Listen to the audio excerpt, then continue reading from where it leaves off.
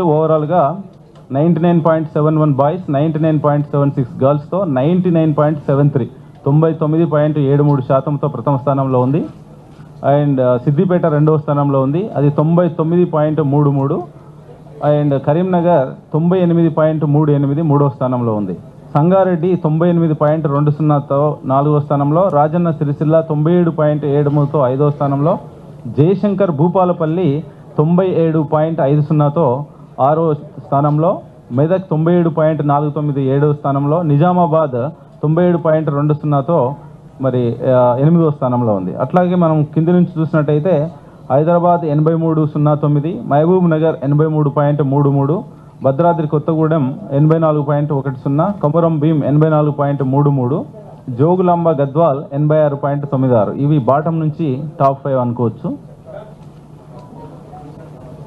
సబ్జెక్టుల వారిగా చూసినట్లయితే మొదటి భాషలో తొంభై ఎనిమిది పాయింట్ ఏడు మూడు పాస్ అయినారు ద్వితీయ భాషలో తొంభై తొమ్మిది పాయింట్ ఎనిమిది మూడు పాస్ అయినారు తృతీయ భాషలో తొంభై ఎనిమిది పాయింట్ ఏడు ఐదు పాస్ అయినారు గణితంలో తొంభై ఆరు పాయింట్ ఒకటి మూడు సామాన్య శాస్త్రంలో తొంభై ఐదు పాయింట్ ఎనిమిది ఎనిమిది సాంఘిక శాస్త్రంలో తొంభై తొమ్మిది పాయింట్ సున్నా ఐదు మంది పాస్ అయినారు. మేనేజ్మెంట్ వారిగా చూసినట్టయితే మీరు బీసీ వెల్ఫేర్ టాప్గా ఉంది తొంభై ఎనిమిది పాయింట్ ఏడు ఎనిమిది శాతంతో బీసీ వెల్ఫేర్ నంబర్ వన్ ఉంది. తర్వాత గవర్నమెంట్ రెసిడెన్షియల్ స్కూళ్ళల్లో రెండవ స్థానం ఉంది. తొంభై ఎనిమిది పాయింట్ ఐదు నాలుగు. మూడోది కూడా మన ప్రభుత్వం ఆధ్వర్యంలో నడుస్తున్నటువంటి మోడల్ స్కూల్స్ ఉన్నాయి. అవి దాదాపుగా మోడల్ స్కూల్స్లో హాజరైనటువంటి వాళ్ళు పదిహేడు వేల నాలుగు వందల ముప్పై నాలుగు. దాంట్లో కూడా తొంభై ఎనిమిది పాయింట్ నాలుగు ఐదు శాతం మంది పాస్ అయినారు. దాని తర్వాత సోషల్ వెల్ఫేర్ రెసిడెన్షియల్ స్కూళ్ళల్లో తొంభై ఆరు పాయింట్ ఐదు ఆరు నాలుగో స్థానంలో ఉంది. కేజీబీవి ఇది గర్ల్స్కి మాత్రమే. దీంట్లో తొంభై ఐదు పాయింట్ సున్నా ఏడు శాతం పాస్ పాస్ అయినారు. అండ్ ట్రైబల్ వెల్ఫేర్ రెసిడెన్షియల్లో తొంభై మూడు పాయింట్ తొమ్మిది శాతం. అండ్ ప్రైవేట్లో తొంభై మూడు పాయింట్ ఆరు ఐదు శాతం. అండ్ జిల్లా పరిషత్లో చూసినట్టయితే తొంభై ఒకటి పాయింట్ రెండు ఆరు శాతం. రెసిడెన్షియల్ మైనారిటీలో తొంభై పాయింట్ తొమ్మిది రెండు శాతం.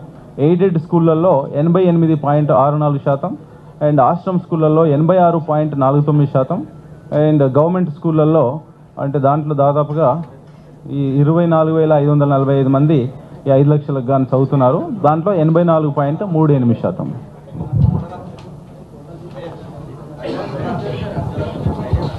అట్లయితే అట్లాగే మీడియం వైజ్గా చూసినట్లయితే తెలుగు మీడియంలో ఎనభై తొమ్మిది పాయింట్ రెండు ఆరు శాతం పాస్ అయినారు. ఆంగ్లంలో తొంభై నాలుగు పాయింట్ మూడు రెండు శాతం పాస్ అయినారు. ఉర్దూ మీడియంలో ఎనభై నాలుగు పాయింట్ ఆరు మూడు శాతం పాస్ అయినారు. అదర్ మీడియాస్ కూడా ఉంటాయి. ఈ బార్డర్లో కన్నడ కానీ గుజరాతీ కానీ లేకపోతే అట్లాంటి వాటిలలో. అప్పుడు దాంట్లో ఎనభై రెండు పాయింట్ నాలుగు ఒకటి. మొత్తం తొంభై రెండు పాయింట్ నాలుగు మూడు. మేనేజ్మెంట్ వారిగా వంద శాతం మరియు లీస్ట్ వచ్చినాయి చూసినట్టయితే వంద శాతం వచ్చిన వాటిలో దాదాపు పదకొండు వేల ఇరవై ఆరు కాలేజీలకు గాను నాలుగు వేల మూడు వందల డెబ్బై నాలుగు కాలేజీలలో స్కూల్ స్కూల్స్లో వంద శాతం వచ్చినాయి. దాంట్లో జిల్లా పరిషత్లో పదిహేను వందల ఎనభై జిల్లా పరిషత్ స్కూల్లో వంద శాతం రావడం జరిగింది. అట్లాగే కేజీబీవీలు నూట ఎనభై ఐదులో వంద శాతం రావడం జరిగింది.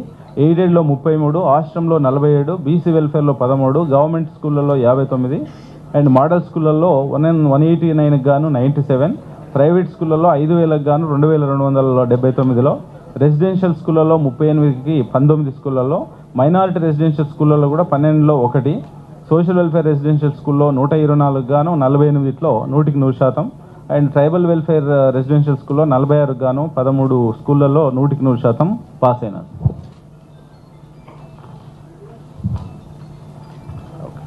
నెక్స్ట్ ఈ తర్వాత ఈ సప్లిమెంటరీ ఎగ్జామినేషన్స్ ఎప్పుడు ఉంటాయి? ఫీజు కట్టే లాస్ట్ ఏది ఏంటి? ఆ details recounting reverification details school commissioner and director school education Vijay Kumar గారు చెప్తారు.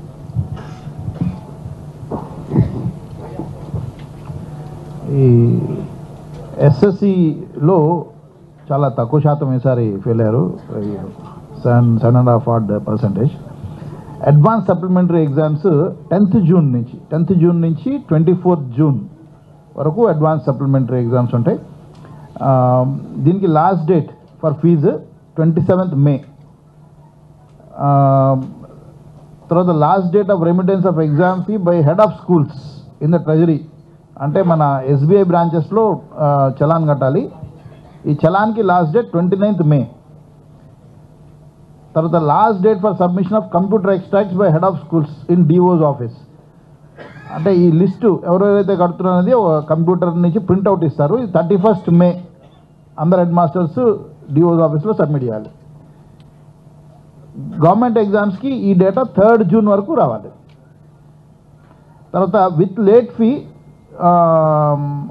of rupees fifty up to two days before the commencement of exam అంటే టెన్త్ అంటే ఎయిత్ వరకు ఎయిత్ వరకు ఫిఫ్టీ రూపీస్ ఫైన్ వరకు ఫీజు కట్టవచ్చు ఇది details thanks sir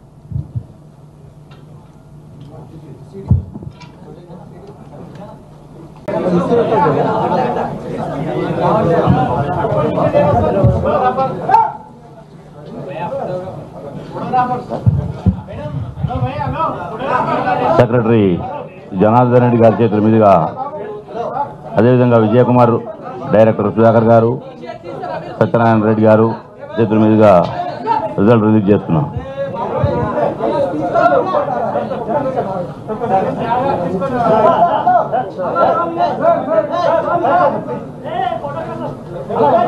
sir